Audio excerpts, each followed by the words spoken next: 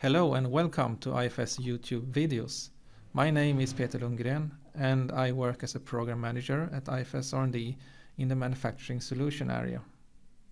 In this video you will learn more about how to create and connect a nonconformance report to any page in IFS applications.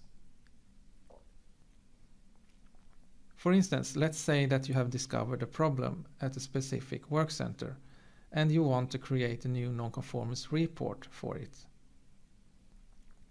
In the attachments group, you have the option to either create a new nonconformance report or connect an existing to the work center.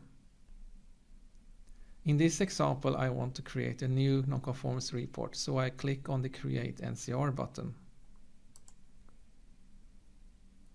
I enter a description of the problem. I, I attach a picture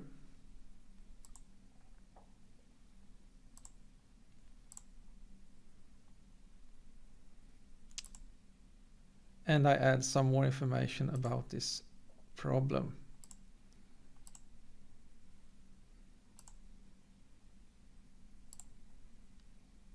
Then I click on finish.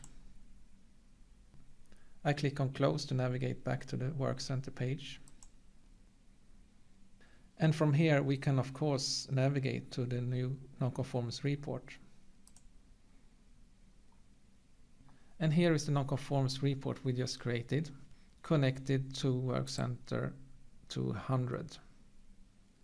And finally, if I click on the Object button, we navigate back to the Work Center.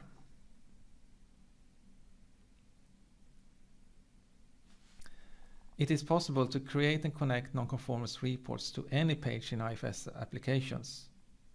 Here I have enabled it for the supplier page as another example. However, this option is not enabled by default for all pages. Enabling it for a specific page is done by a system administrator in the Object Connections page in IFS Solution Manager. And this concludes the video on how to create and connect a nonconformance report to any page in IFS applications. Thank you for watching and please subscribe to our IFS YouTube channel.